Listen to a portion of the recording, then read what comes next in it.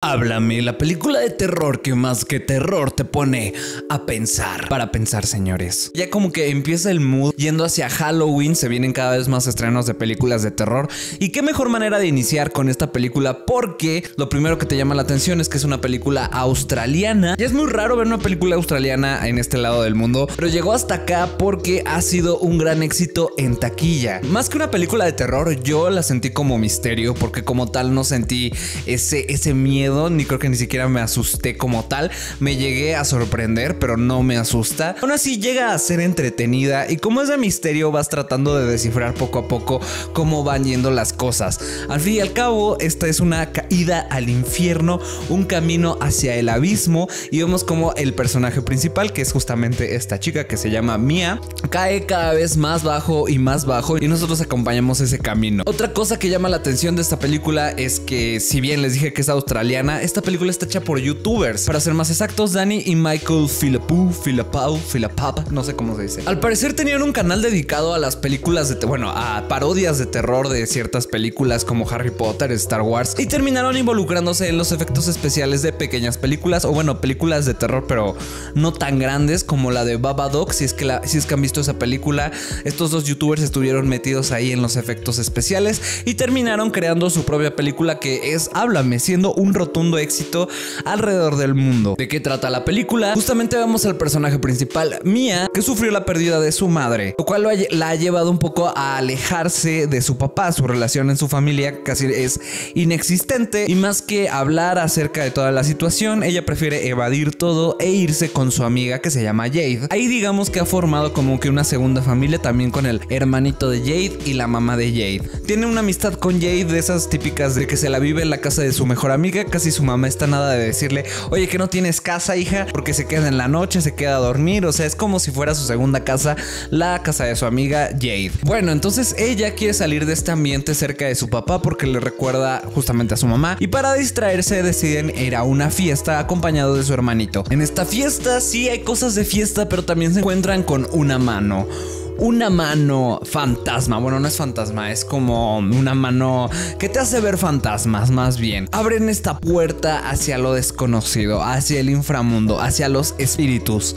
Y todo te lo muestran como una especie de reto viral. Algo como que los chicos se graban agarrando esta mano y dejando como a todos los espíritus entrar. Pero esto lo vemos como desde una perspectiva de, ambiente, de risas, de ah, miren este reto, cómo se meten los fantasmas. Podemos ver fantasmas, qué cagado. Termina siendo un problema, pero después voy a ahondar en esto. Y como pueden adivinar, esta chica, al estar en un estado tan vulnerable, tanto emocionalmente como psicológicamente, al tener esta experiencia, cada vez más vemos cómo empieza a tomar y tomar y tomar peores decisiones hasta su declive. Lo podría decir como que una, es una historia, es que no recuerdo muy bien el término, pero camino hacia el abismo, o sea, la perdición, o sea, vemos cómo este personaje uh, se decae toda su historia. Para no subir, porque el camino del héroe, que es una estructura narrativa, usualmente el héroe pues cae a un abismo y ahí es cuando renace y vuelve a tomar fuerzas y de ahí para adelante. Bueno, aquí nada más vemos como el personaje principal se cae al abismo. No les voy a spoilear más porque creo que con esto ya es toda la historia completa. Más que nada esta película es una película de misterio. Si es que ustedes esperan ser asustados o ver monstruos demasiado terroríficos o si les gusta el gore porque bueno, te entiendo que muchas personas disfrutan del gore en las películas de terror. Esta no es una película así, no tiene el tono demasiado subido, momentos en los cuales es de una película de terror donde todo está en silencio y de repente te ponen un sonido muy fuerte con una imagen de un monstruo en tu jeta. No hay tantos momentos de esos, a lo mejor y me equivoco, pero según yo no hay jumpscares. Y está muy bien porque luego las películas, las películas de terror se terminan convirtiendo más en cuántos sustos logran cometer en un lapso de 5 minutos. Así no funciona esta película, esta película te va adentrando al mundo y cada vez vas descubriendo más de los personajes. Como dije, siento que es más de misterio porque vas resolviendo más o menos qué es lo que está sucediendo. Al grado de que al final de la película muy probablemente si van con más personas van a terminar debatiendo de qué es lo que pasó y qué no es lo que pasó. Por eso digo que esta película de terror más que terror te pone a pensar, pero eso es algo bueno porque también narrativamente se sustenta muy bien en todo lo que quiere mostrar. Los propósitos de esta película son uno, experimentar. Se nota que los creadores youtubers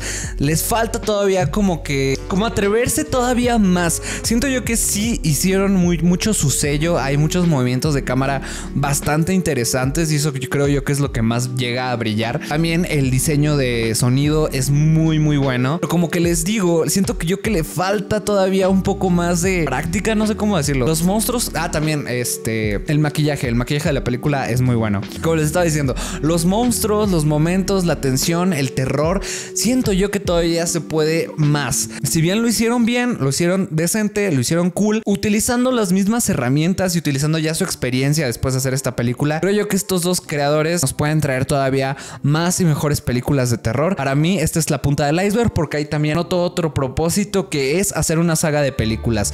Después de la saga de películas del conjuro y de las sagas de películas en general, como que es algo que se busca mucho en la industria.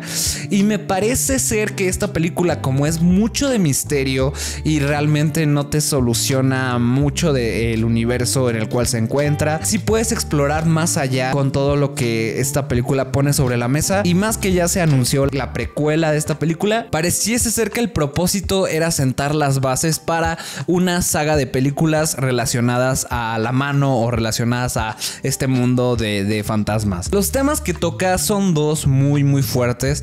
Uno es el proceso de duelo de una persona y dos es el uso de sustancias. No pude no ver esa analogía, pero para mí el mismo ambiente como que el mood cuando esta chica este, va a la fiesta como que realmente son retos virales, podría decir así, pero también es mucho acerca del uso de sustancias en estas fiestas. Cuando estaban con la mano y todos estaban reuniéndose, parecía más que iban a, a hacer uso de ciertas sustancias en la fiesta y ejemplifica muy bien el camino justamente de estas, ya que cuando estás en una situación emocional, mentalmente mala y haces uso de estas sustancias, pues muy probablemente te vayas al abismo, justamente como esta chica, y terminó afectando también a las personas cercanas a ella, a su papá, a sus amigos, a todos. Entonces, para mí, esa es la analogía de esta película. Como les dije, los puntos buenos son el maquillaje, los movimientos de cámara son muy originales en algunas partes y esto sí llama la atención. También el diseño sonoro y también me gustó la historia. O sea, rememorándola,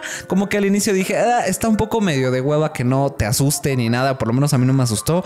Pero viéndola, la película pone mucho peso en la historia y en lo que estás viendo en la pantalla y termina siendo este misterio que tienes que resolver también sobre qué está pasando con los personajes. Cuando algunas películas ni siquiera tienen una buena historia y ponen más peso en los sustos o en los monstruos, qué tan gore pueden ser, cuánta sangre, qué es lo que hacen, qué tan retorcido esté. Hay muchas películas de terror que se van por ese lado, pero esta película no, esta película se va más a la historia y creo que es algo bueno porque finalmente si van a hacer nuevas películas y si la historia es fuerte, nada más le tienen que subir dos o tres rayitas al terror o a los monstruos o a las situaciones para poder hacer una película muy cabrona. Así que sí estoy a la espera de la precuela, sin duda alguna. Lo malo es que no asusta. Finalmente una película de terror, vas a que te asuste. Fui con más personas y realmente ninguna de las personas como que se asustó, aunque si hay momentos hace que reacciones, hace que hace sí te mueve ciertos ciertos puntos, pero como tal no te asusta. Otro punto malo es el ritmo de de repente sentí, también no está en toda la película, pero sí hubo momentos donde como que pasaba mucho tiempo entre algo importante de la trama y como que era relleno, relleno, relleno.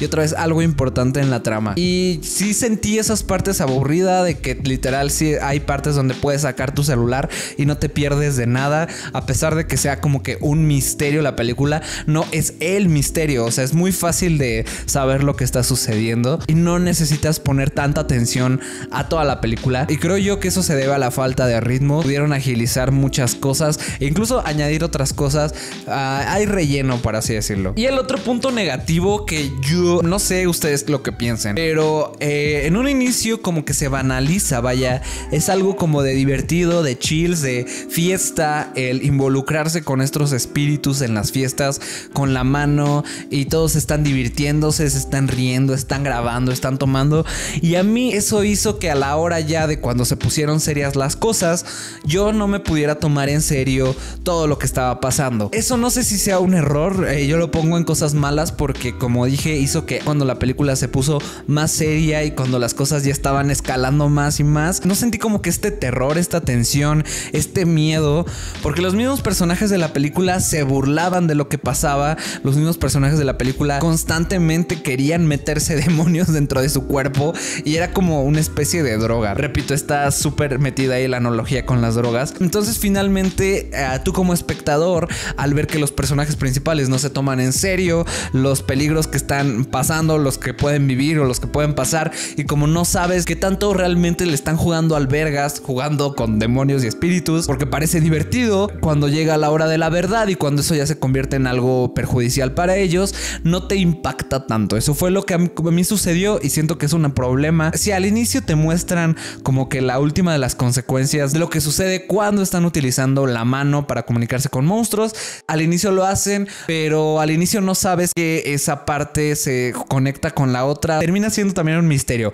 Creo yo que faltó poner la mano y también faltó hacer más seria como que todo este, este ambiente de la mano. Para mí, para mí, porque no sé, a lo mejor a alguien sí le gustó que fuera visto de esta manera como divertida, pero siento yo que a la hora de la ejecución le quita mucho impacto, le quitas mucha seriedad cuando ya te quieres poner serio. Así es que tus personajes se están divirtiendo y le están pasando chido metiéndose fantasmas como pinches tachas. Finalmente, yo le doy de calificación un 6. Para hacer la primera película de estas personas estuvo bien. La historia, les digo, está sólida, el diseño sonoro está sólido, todo es una, es una película muy sólida. Creo que lo podría describir así, muy, muy sólida. Y si van a hacer otra película, ahí es cuando ya le tienen que subir dos, tres rayitas, tanto como que al volumen, a los monstruos, este, a todo, a todo le tienen que subir. Porque para una película de terror le faltó terror y le faltó este impacto que llegan a causar las películas de terror, este miedo que te llegan a causar las películas de terror.